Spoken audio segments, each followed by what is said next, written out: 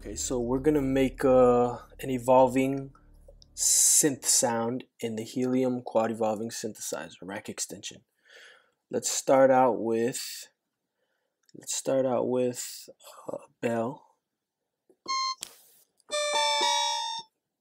Let's bring the amp up a little bit, the release. Add a little little little effects to it, just just to get it wet.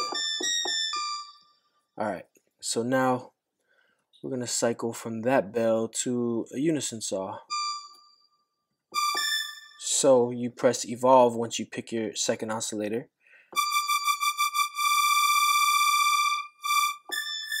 Now it will cycle from this to this. And this is which one you want to be uh, the the mix. This is a crossfade mix, so maybe you want to have more of a bell than this, the unison saw.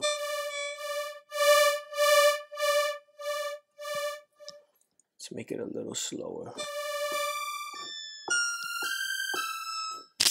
Okay, add a little delay just to have it wet.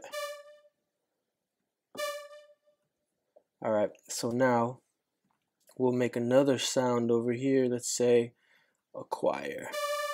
Let's hear just, I'm just going to crossfade it over here to hear what we're doing over here first. Okay, I like it. I like it. So what we'll do is we'll have the, the X evolve cycle from oscillator A side to oscillator B side.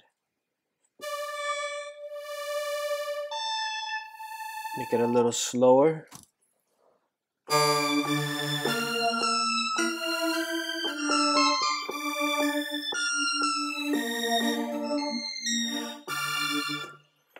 Now we have a evolving sound. We could uh we could layer it even more if you wanted to uh say for instance drop a pad back there. And then instead of evolving from the, these two sounds to this one, we could we could have it uh, also evolving over here. And while these are changing, this is going to fade from here to here to here to here. And then these are going to change. So now we're going to get four different sounds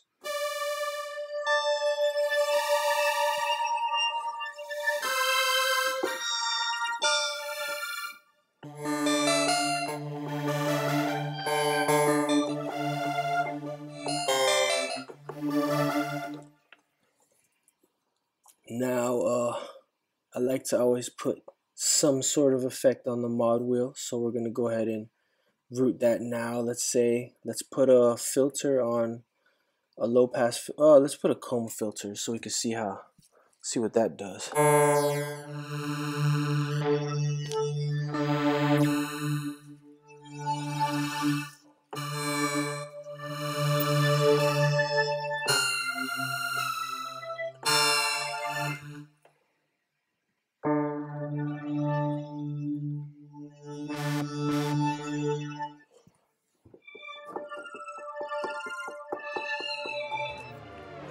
There we go. We have uh, an evolving synth sound.